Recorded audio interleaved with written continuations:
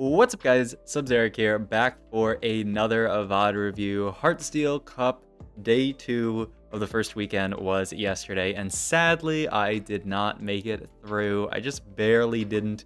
I needed a good score in my final game, and I played 7 Heartsteel and died before cashing out and went 8th it was a really, really fun tournament, uh, and, you know, I got to play with a lot of excellent players, uh, like, well, Kiyoon was in the tournament, I don't think I actually played in the same lobby as him, but I wanted to VOD review Kiyoon because he had a fantastic day, you can see by his scores up there, 1, 2, 1, also I'll make my a little bit smaller so I don't cover up this synergy. Uh, but yeah, Kiyoon absolutely smurfed on day 1 and day 2, clearly skill gapped a lot of the field, and uh, so I wanted to see, you know, what he was doing that uh, did so well for him in the tournament because I think this is a meta where you know, there, there's a lot of talk about certain things being broken, like Heartsteel being completely out of line and things like that. But also, I do think there's a great deal of skill expression in this meta. So we're going to start with a 4 Sentinel opener. I think a lot of people don't really care about this uh, K'Sante unit as a headliner. And we're actually going to pre-level in this spot as well, looking for just something here, some kind of backline unit, it looks like. I'm um, to roll our augments here. Nothing too crazy. Combat Caster should be pretty good with the Sentinel opener, and it's a solid augment in general. We don't really want to pick up like the duplicators or anything like that. Our item opener, oh, and we're gonna we're gonna roll that augment as well. So I think he was looking at maybe a true twos here if he uh if he missed, but he ends up getting idealism here, which is a, a decent augment. You can put it onto this K'Sante, you can put it onto this Urgot here, uh, and be pretty happy with it. Item slam wise, so he had like the Guinsoo as a potential slam. Now that we have this Hodge, I don't think the Guinsoo really makes any sense, and also because we're item holding Urgot. So yeah, we're just gonna play this board here put the Hodge onto Urgot. He's going to do a ton of damage because Urgot's a beast. I guess if we hadn't seen Urgot, we'd have to play something like a Samira or a Twitch to hold onto this item, which wouldn't be as good. Uh, the Urgot was actually probably the best possible option as, as far as a unit to hit. So really, really nice that we pre-leveled into the Urgot because, you know, pre-leveling gave us the opportunity to actually hit that Urgot. And yeah, we'll, uh, we'll see what we end up playing from this spot. With this Hodge Augment, you can kind of play most things.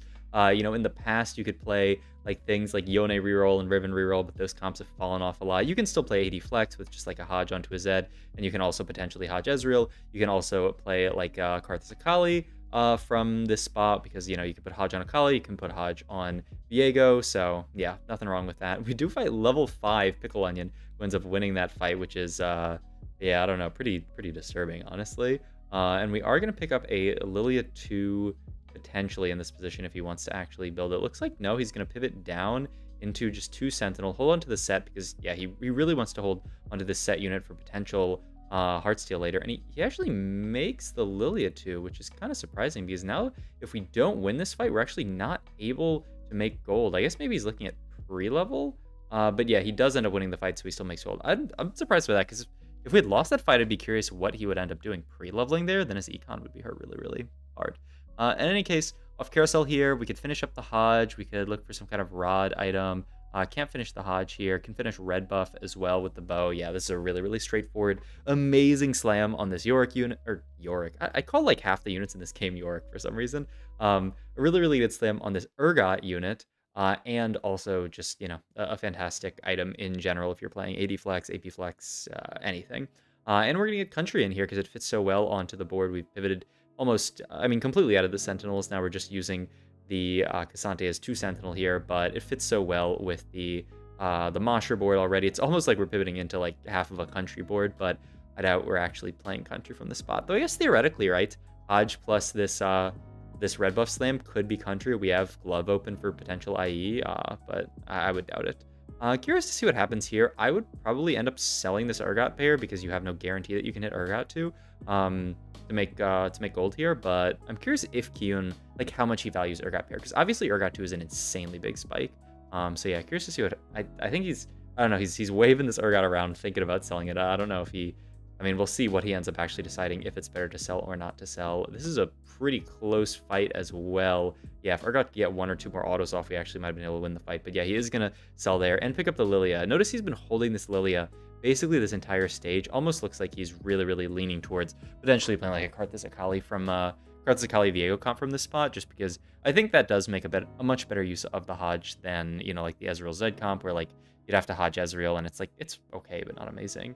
Uh, oh my god, that is a lot of gold. That's a set two. Uh, yeah, you end up selling the Ekko here, I would think. Uh, and yeah, you're just pretty happy with your set two here. Picks up a Rod here, which is interesting. Uh, I guess you could end up just making something like a Death Cap for for potentially Karthus later. We don't really have anyone to hold on to it. Uh, and he is going to get Heartsteel in here just to potentially juice up the cash out. And yeah, he's even going to pick up this Heartsteel. Um, and he, yeah, he, he does make the Death Cap here. I like this. He's, he's also going to pick up the Heartsteel Aphelios here for potentially five Heartsteel down the line. Death Cap basically locks him into playing uh, around Karthus at some point. You know, you can't really play the Ezreal comp with this Death Cap slammed, but, you know, he's holding on to all the units. It's a pretty good spot for it.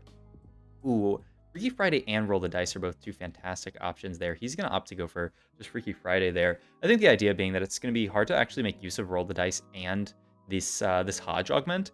Uh, you know, you want it's going to be really, really insane to have like Hodge plus Infinity Force on one of these, uh, you know, carries like Akali or Viego. But the roll the dice, you can't actually make use of both. So it actually makes a lot of sense. Uh, and you'd also be like roll the dicing a random uh, Aphelios, you know, that doesn't feel that, that good. So he just makes the Infinity Force onto set here and has a fantastically strong board, 89 HP, really, really solid spot. Doesn't really have to roll or anything because he pivoted into the Aphelios and he found the set off of uh, minions. So yeah, really, really good spot to be in here.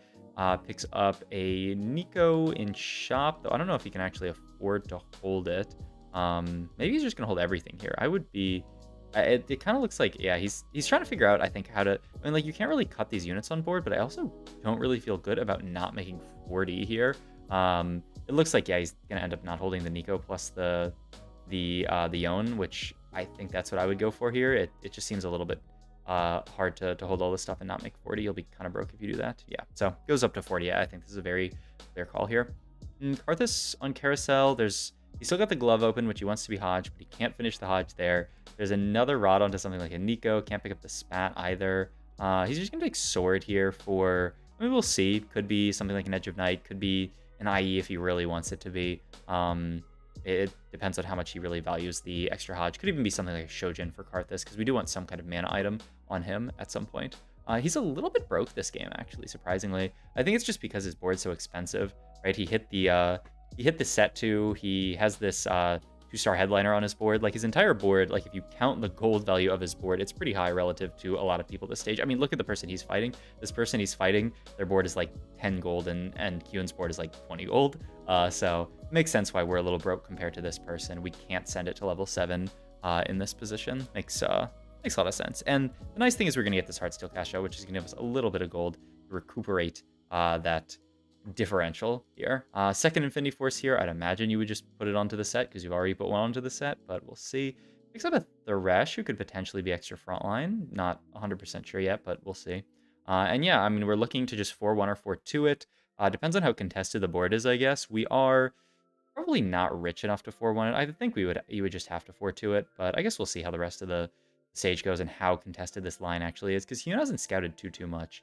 Um, so I haven't actually seen like how contested this board is in the lobby. Though I just realized we, we just fought someone with a Yorick on their board. Um, this is a great shot pickup for if you're playing AD or AP. He's got the uh, Akali here for this, and he's even going to hold on to the Zed too. Um, but yeah, I mean, either way, you should be pretty happy with this uh, with this shop. And what he's doing here, it looks like he's actually going to 4-1 it by uh, by selling a lot of these units. He doesn't have that that much gold. Um, Okay, actually really, really nice. He ends up picking up this Pentakill, um, Pentakill Mordekaiser, and he's rolling level on seven. Ooh, this is cool. Okay, he's he's trying to figure out what his strongest board is here, and he's putting a he's, he's putting a lot of stuff in and a lot of stuff out. Uh, he really just wants to play this board, I would think, for the one round, and then he can 4-2 it. Um, he's going to, to fight someone who already has an Akali, too, which is really annoying, because we want that unit. But yeah, I, I guess there's an idea that uh, you could play around Headliner Mordekaiser, but probably not with uh, with these items. Best Friends tends to be good. Uh, the only problem is it might be kind of scary to position it with your KDA hexes, but we'll see. Uh, we're just going to start rolling here and look for some kind of relevant headliner here. Executioner Karthus is fantastic, so we're going to pick that up immediately uh, and just try to get into our board. Get the super fan units in, I would think. Uh, he has the Akali as well. We still don't have Gnar in on this board, right? No super fan. Uh, we're still playing playing a lot of weird stuff on this board, actually. We still have this Zed on the board. I think the idea is that Zed can actually hold on to some of these items. Uh, and he's going to opt to actually just Hodge this uh, this Karthus here. It's a little bit of healing onto him. It's crit chance, which is pretty good. Uh, yeah, the, the Hodge Karthus actually looks quite good here, uh, surprisingly, because it's not an item you see on him very often. But pretty decent pivot. We're still, like, it's a little bit awkward because, you know, like, we want to... We definitely want to get this Gnar onto the board here. The problem is, like, then where does the Infinity Force go? I guess you can just put it on Mordekaiser. For now. Um, and you know he's got the four executioner on the board. It's it's a very very solid board. Like this is a board you could theoretically push to, to level 9 on with this amount of HP. Ooh, he's gonna, yeah, I actually like this a lot even more. He's gonna put the Infinity Force on Ekko, because Ekko doesn't have to stay on this board for a long time. He's, he's just chilling on the board right now, but he can definitely come out for Viego later. So Ekko can hold it. You don't put it on the Mordekaiser because the Mordekaiser is gonna stay on our board the entire time. And honestly, these Karthus items are looking really, really nice. The Hodge, Deathcap, and then, you know, the Archangel from Superfan. He's doing a ton of damage. Um, interested to see what he goes for here, because you'd want Viego out, and the problem is you just don't have Viegos at this point. So, I don't know. If you go for something like a Warmog to have more frontline, looks like he just wanted uh, a third Hodge, but sadly can't get it, so he ends up just picking up the Warmogs here. Uh, and he's also scouting around to see how contested the board is, because there's a lot of people playing uh, this kind of stuff uh, right now. Um, yeah, we end up picking up the Viego, but problem is it just doesn't fit on the board right now. And yeah, I would think it would just be Warmogs, right? Fine item. Uh, and Viego potentially coming on 9 for uh, for 5 Penta. Um, it, it kind of looks like we can just push 9 here. I'll, I'll be curious to see if Kiyoon wants to roll more this stage, or if he does want to just go straight to 9 with this board, because his items are pretty good. That's what's sort of like enabling him to actually have a strong board. These uh, these Karthus items are really, really carrying. Uh, that's another Viego, though, because like now he has, he has Viego paired, uh, and he uh, he also has uh, just Akali one. So you could you could certainly see him rolling here. The only problem is he's scouting around a lot of these units are contested. He saw a lot of Akali's out. That was at least one headliner, maybe two headliner Akali's. I, I couldn't make it out there because we're on 2x speed, but it's a little bit hard, right, to, to find a, an Akali here when there's potentially six out of the pool. So I'm, I'm really curious to see what econ decision Kiyoon makes here because I think that's make or break this game. He played a really, really strong early game. I love the items that he slammed. Uh, I like the items that he, the, the augments that he picked a lot. But make or break here is going to be how he spends his econ, you know, like right now. Ooh, Viego 2, that is a that is a really, really big hit though. He didn't have to roll all for that, so now he can just potentially play this Viego on his board. He's thinking about potentially even cutting Superfan. He was he was certainly thinking about it. I would definitely be looking at just cutting this Ekko at this point. Um, but he's looking at potentially something else. And wow, he gets a Hodge dropped and a Neeko too. Oh my god. Uh, so now he can just, uh, I mean, just put good items onto the Viego, Hodge, Hodge Sterak's, yeah, on and uh, Infinity Force onto him. Warmogs onto the Mordekaiser, and now we can certainly just push levels. So he kind of didn't even have to uh, to roll it all there to just hit these upgrades, which is really nice. I would have been curious to see what would happen if he didn't hit that Viego. I assume he would have rolled, I guess, for Viego too, because it ends up being a really, really big upgrade onto this board. Um, but he doesn't have to roll for it, and now he can push 9, get in a, a fifth Pentakill unit. Ideally, it is the Yorick, uh, because he just fits so, so well into this board. It's 5 Penta, it's Mosher, and it's Guardian.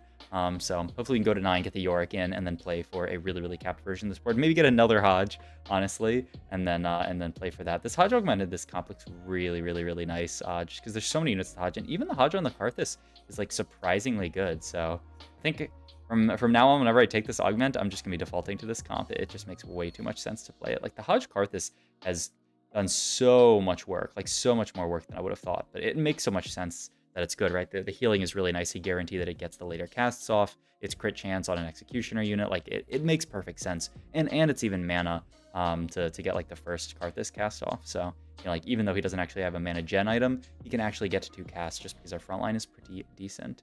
Um, but yeah, I'm gonna fight a board that's just on Ezreal 1 and the Akali was on the correct side. That means the Ezreal's just going to die immediately. They do have a lot of carries, though. They had the Caitlyn. They also had that random Aphelios here, but it looks like we'll be okay.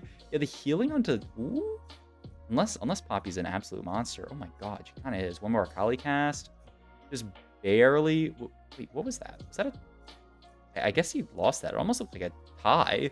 Um, but I, I think it was a tie. I'm, I'm down to actually go back here. Did both of them take damage? It was. How was that even possible? It didn't even go to overtime. They just... I, I think they just tied. I've never in my... I, I have not seen that in a long time. Um, I... Yeah, I don't know what to say about that, honestly. that's that's pretty incredible. I, they killed each other at the last second, I guess. Uh, we're going to pick up a Deathblade here, which I guess is just... I don't know what the Deathblade is for, actually. Was it on Akali here? I, I, think I was I think I was remarking at the tie there, but he ends up with an Akali here, so... Did he just pick that up from shop, or did he uh, he get that off the Yeah, yeah, okay, so it was just a Deathblade Akali because he wanted the uh, Akali here. He can push 9 here. Uh, roll to try to pick up something. Uh, yeah, he's just rolling it to 0 here, and he's going to Deathblade the Gnar with the idea that... I don't know, actually. I guess that it's fine on him. I would think maybe you would just Death Deathblade the Yorick once you find it, though Deathblade York isn't, like, amazing. Um, it's like you could put it on Kayle and then move it to York later, but I, I guess his his evaluation is that Deathblade doesn't really do anything on York anyway, so might as well just Deathblade the Gnar, get a little bit of combat strength. And oh my god, at Karthus. I, wow, I, honestly, I'm, I'm just, I'm, I'm 20 out of 20 Hodge Karthus from now on. Like, this unit is actually insane with this setup. Like, like what a cool Karthus build. I, I don't think this is one that I, it's definitely not one that I've ever done. I don't know if I've ever uh, seen this build before. Mm, I really, really like how he's spreading his units out here. He's to make it so the Viego is going to walk up the right side. To give it a really good chance of dodging these first few Vex ults. Yeah, dodges the first Vex ult and then eats a couple of Vex ults. Really, really expert positioning from Kiyoon here to win this fight. This is how you have to win the the, the fight versus this Executioner player because it's so easy if you put your Viego uh, towards the middle to just have him uh, end up getting one shot very, very easily. So really, really, really nice positioning there. Uh, and we're in the top three already. Uh, now the question is, you know, can we play for first? And I don't know. Voidson is 87 HP win streaking. I don't know what his spot looks like, but it looks quite scary. Soon we're just going to roll down here. Again, uh, no way we're pushing level 10. Just try to pick up the Akali too. Try to pick up the Yorick here. Uh, still haven't seen... Okay, now he finally sees the Yorick here, um, but doesn't actually see the Akali uh, yet. And he does move the Deathblade over to the Yorick. So, yeah, he just wanted on the best unit for a while. Would assume this is Yorick Adam, but there's not much that's great here. Yeah, I He's going to go for Titans, which is okay. The problem is just on Yorick 1, there's a very good chance that it's not going to proc. One more big Karthus ult, boom. And man, I really feel like this this the standout this game has absolutely been this Karthus build. Though we are going to get soloed out by a Amumu. This Amumu was just strong enough to kill our entire board. Pretty insane And roll down here. Still looking for Akali. Still no Akali, too. It's just such a contested unit because this guy's holding it, and then there's that other player holding it. So just impossible for him to find the Akali, too. But I mean, still, it's a top three, maybe top two if he can outposition this guy. Just needs to make sure that uh, he's not getting Akali. Really, really nice positioning here to make his units walk up the left side so that the York baits out the Akali ult. It's been two ults already, and this Karthus still doesn't get Akali. It gets hit on the third ult, then heals up with the ult, and then one more Karthus ult. Oh my god, it one-shots like half the board, but I have to imagine Akali's gonna finish this out. Oh my god, what a close fight. Down to 8 HP for Kiyoon, and still no upgrade here. So we're gonna fight Voidson here. Um, we won last time, but I believe that was against Clone. I don't know if we can beat the real. It's really going to come down to who fights Clone here between these two people. Um, if uh, if one person doesn't fight the other clone. Kiyoon does fight clone, which is a big win for him. So hopefully the other player takes more damage versus the clone here. Maybe we can even beat clone because we did it last time. Uh, the Viego bought some time. It looks like, yeah, we are going to beat clone, which is huge here. If Senbon loses to clone, then yeah, it is a top two, though. Looks like uh, looks like Voidson is just very, very, very, very, very strong. Gonna go for, yeah, the the Warmogs I like decently. It was it was stuck between Warmogs and Static Shiv. Um, I mean, the the Static Shiv is probably pretty solid, but yeah, he's just gonna go for this. Uh, just barely one gold off. Well, no, two gold off of be able being able to uh, to make this Akali. You could buy the Lilia and downgrade the Lilia, but you would uh, you would not get uh, enough gold to actually make it. So we are gonna fight uh, this board one more time, though. Now that it's real, yeah. Oh my god, it's it's just a massacre, and it is going to be a top two for Kiyoon. But really, really expertly played. I really loved this Karthus build. He just did so, so much work with this setup. I really like the angle that we took from the augment, all the augments that we picked, how he played the early game. It's just a just a masterclass game from Kiyoon on how to play this patch. Uh, and it wasn't even Heartsteel. It was uh, it was this Karthus comp that a lot of people are struggling with. Uh, you know, myself included. Honestly, I I have bad average placement on this comp. So Hope you guys enjoyed this video. If you did, please like, comment, subscribe. Check out my Twitch and all my other links down below. Thanks for watching.